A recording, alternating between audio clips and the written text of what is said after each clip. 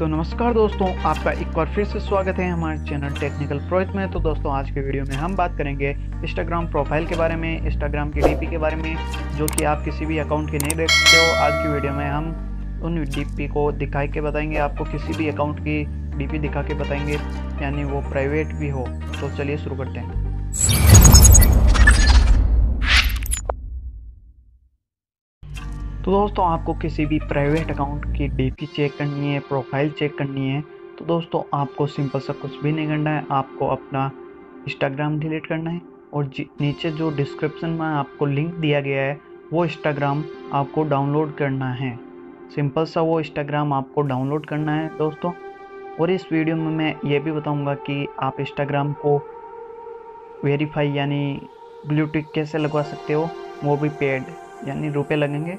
लेकिन आपका वेरीफाई हो जाएगा। तो दोस्तों, यहाँ से सिंपल सा आपको डाउनलोड करना है।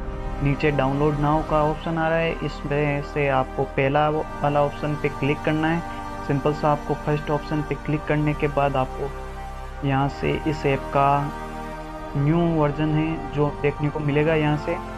वहाँ पर क्लिक करके न्यू वर्जन आप डाउनलोड कर लो। और फिर आपको सिंपल सा इंस्टॉल करना है इस ऐप को। मैंने इंस्टॉल किया हुआ है।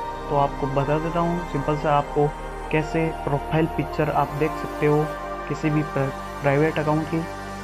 दोस्तों प्राइवेट अकाउंट की प्रोफ़ाइल पिक्चर कैसे देख सकते हो वो बताएँगे आपको। देखिए, सिंपल सा ये प्राइवेट अकाउंट है, इसकी प्रोफ़ाइल पिक्चर देखने के लिए आपको प्रोफ़ाइल पे प्रेस करना है सिर्फ़।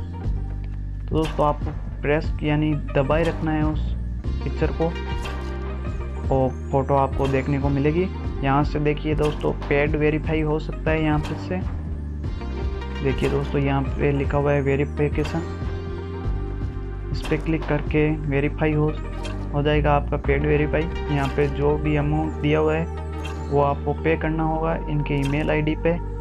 और ये आपके अकाउंट को तीन से चार दिनों में ब्लूटूथ लगवा के दे देंगे। तो दोस्तों, यहाँ से और भी इंटरेस्टिंग फीचर आपको देखने को मिलेंगे, जो आपको अच्छे लगे। तो देखिए, वरना रहने दीजिए, बंद ही रहने दीजिए।